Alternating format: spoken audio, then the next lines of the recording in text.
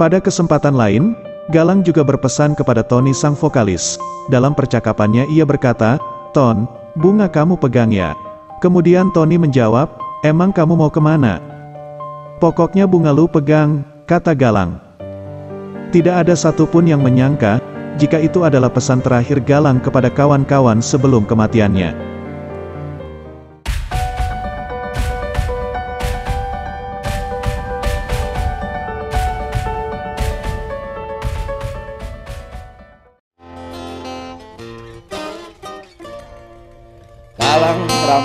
Anarki Anakku Lahir awal Januari Galang Rambu Anarki merupakan lagu populer milik Iwan Fals semenjak dirilisnya album Opini yang diproduksi oleh Musika Studio pada 1982, di mana track yang berjudul Galang Rambu Anarki diposisikan sebagai track pertama dari 10 daftar lagunya. Dalam kurun waktu 14 hingga 15 tahun sejak dirilisnya album tersebut, secara umum, perhatian publik hanya terarah pada lagu tentang kelahiran Galang, ketimbang mengenal sosok Galang yang sebenarnya. Galang rambu anarki Anakku. Lahir awal Januari ya. Menjelang pemilu Galang rambu anarki. Dengarlah Trompet tahun baru Hal itu wajar, jika publik belum mengenal Galang yang sesungguhnya, karena pada awal tahun 1996 adalah masa-masa awal Galang merintis karir sebagai gitaris muda berusia 14 tahun. Awal kemunculan Galang dalam lingkup entertainment, menjadi ikon yang sangat fenomenal. Figur Galang sebagai musisi muda dengan parasnya yang elok, benar-benar menjadi ikon dan topik perbincangan menarik di antara kaum selebriti, ditunjang oleh parasnya yang tampan, Karakter Galang yang selalu tampil apa adanya dengan outfit yang cenderung bandel namun tetap humble dan tenang, memberi candu pesona sendiri bagi siapa pun yang melihatnya, dan selalu menjadi incaran para gadis remaja.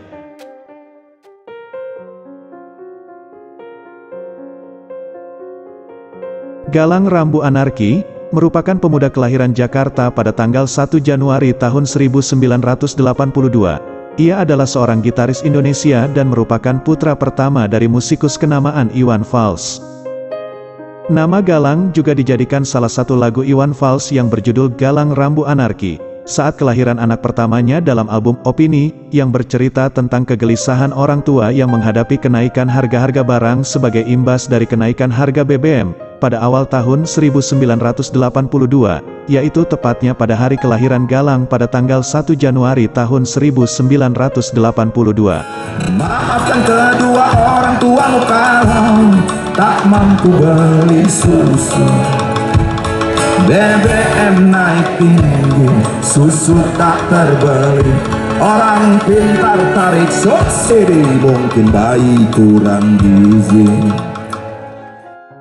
Galang juga mengikuti jejak sang ayah yaitu terjun di dunia musik. Meskipun demikian, musik yang ia bawakan berbeda dengan ciri khas ayahnya, dan membentuk grup musik bunga dan ia menjadi gitaris, sempat merilis satu album perdana menjelang kepergiannya pada 1997.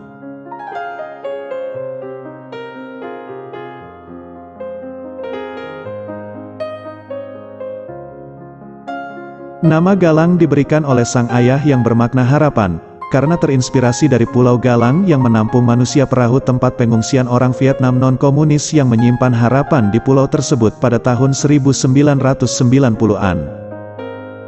Sedangkan Rambu, bermakna supaya hidup memiliki petunjuk, keterangan agar tidak tersesat, petunjuk yang masuk akal untuk kehidupan dan teman-temannya, dan supaya menjadi obor penyuluh. Sementara arti anarki adalah sikap anti perang dan cinta damai.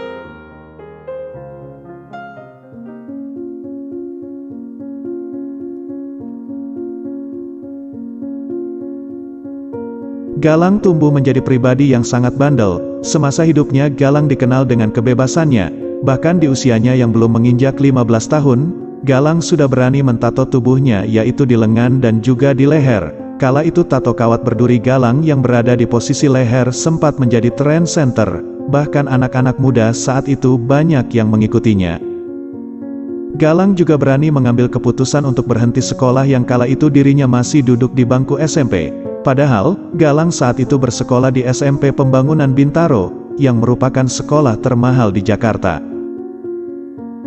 Setelah putus sekolah, Galang lebih aktif berlatih musik, dan pada suatu hari, ayahnya melihat Galang rajin berlatih musik di studio, meskipun teman-temannya belum ada yang datang, dan karena inilah, Iwan Fals meyakini, jika nantinya tak sia-sia jika Galang harus putus sekolah. Kehidupan Galang yang terlalu bebas, membuat Galang menjadi perokok aktif, bahkan, ia juga sempat terjerumus ke lingkaran narkoba.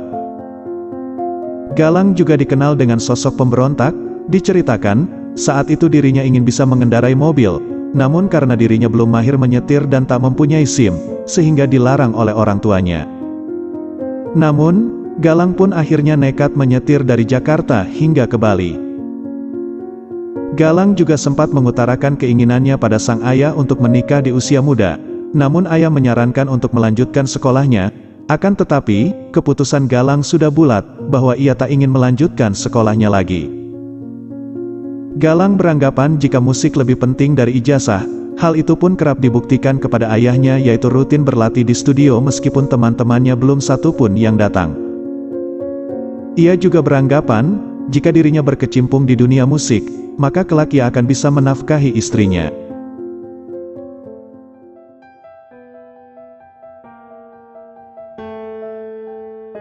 Galang sempat berpacaran dengan Ino Febrianti yang merupakan seorang artis dan juga pemain film.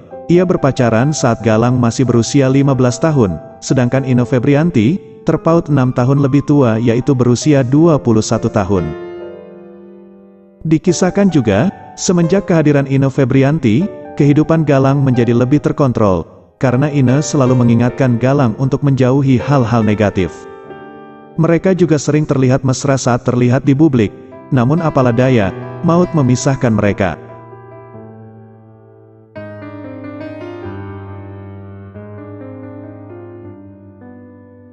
Di balik kenakalan masa remaja Galang yang membuat Iwan kewalahan, ternyata Galang bukanlah sosok yang suka hura-hura menikmati harta orang tua, ia hanya minta ongkos untuk keperluan belajar, sedangkan untuk belanja ia tak punya biaya.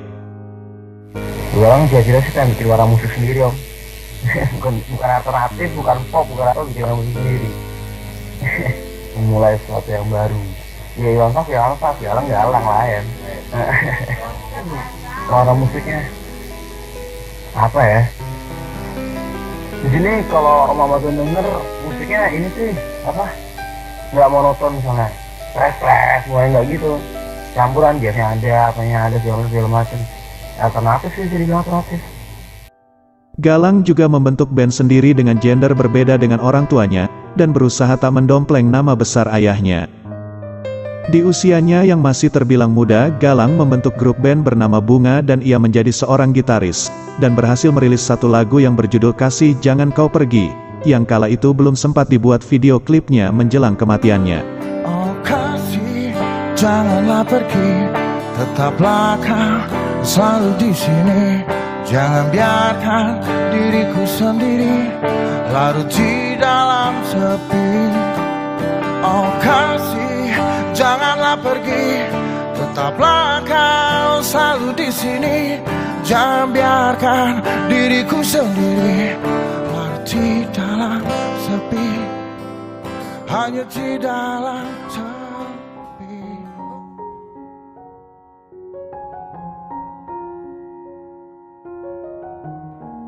Spirit Galang memiliki pengaruh besar dalam grup band Bunga, tidak ingin band yang digawanginya bubar. Suatu saat sebelum kepergiannya, Galang berpesan kepada personel, bahwa apa pun yang terjadi, Bunga harus tetap jalan. Pada kesempatan lain, Galang juga berpesan kepada Tony sang vokalis. Dalam percakapannya ia berkata, Ton, bunga kamu pegang ya.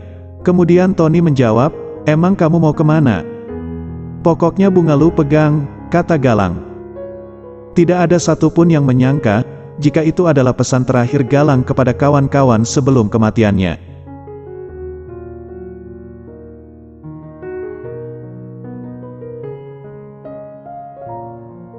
Galang meninggal pada usia 15 tahun, tepatnya pada April tahun 1997.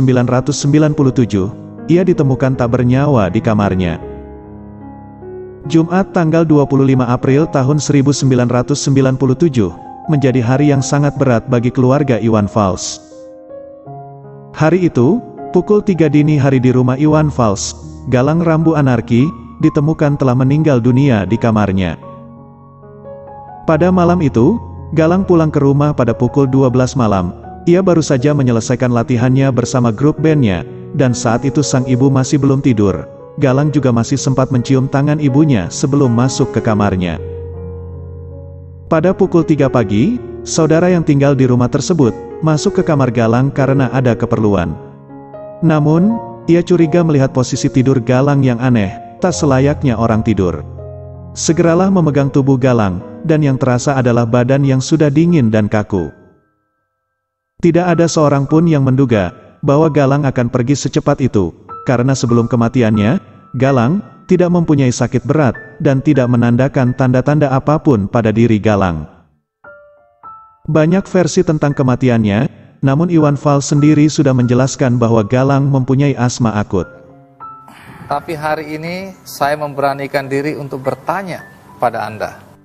Apakah Galang meninggal karena overdosis menggunakan obat-obat terlarang. Nggak, dia itu nggak, nggak ada udah apa? Emang ada gangguan pernapasan dia agak nggak bagus ya di pernapasan dia. Namun media banyak yang curiga Galang meninggal karena overdosis.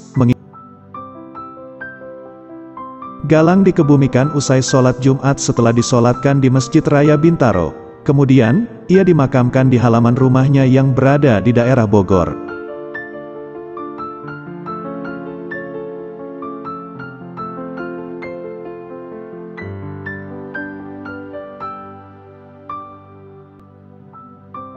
Iwan Fals sangat terpukul karena kematian Galang, hingga ia memutuskan untuk vakum dari bermusiknya dan mulai aktif kembali pada tahun 2003.